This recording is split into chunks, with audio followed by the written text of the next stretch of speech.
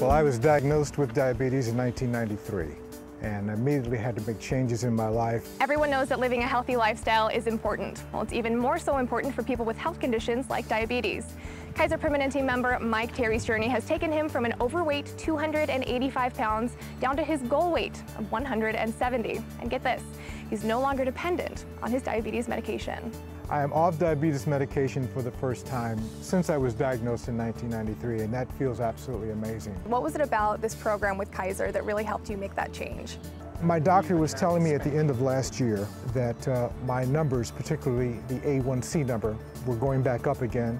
He wanted to increase medication, and I was beginning to feel a point of no return. And again, having saw what diabetes did to my father, uh, and eventually taking his legs, leaving him bedridden. I, I, did not want to see that kind of future.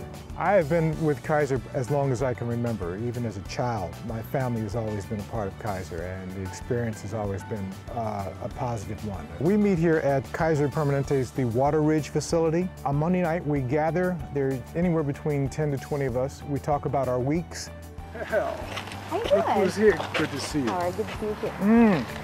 Our dietitian at that time was Lori Chang, and uh, she has been very responsible about keeping us in an upbeat, positive mood about the journey that we're taking now about our health. In my experience of Mike, he was willing to do the work. He was willing to be curious about his behaviors and his habit, and he was willing to take a step back and actually utilize a lot of the techniques that are taught in class. It's astonishing. I, again, I think I'm lighter now than when I was in high school. The biggest difference was learning portion control, uh, the amount of food that you put in your system. It isn't always just about diet. It's also about how do you deal with your stress. Do you sleep well?